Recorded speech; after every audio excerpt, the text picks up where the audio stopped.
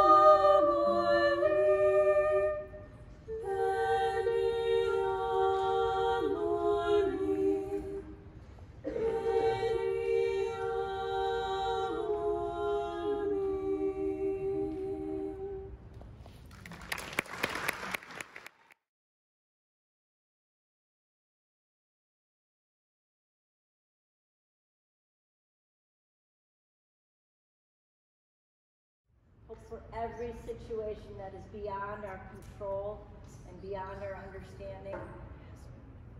You are the God of hope, and we speak hope right now into our lives, into our minds, into our hearts. We speak hope into what feels and seems hopeless. There is nothing that you cannot do, Lord, and we proclaim that and we declare that today. We want to be women who live in that hope. We want to be women who live knowing that nothing is impossible for God. Come, Holy Spirit, fill us with hope.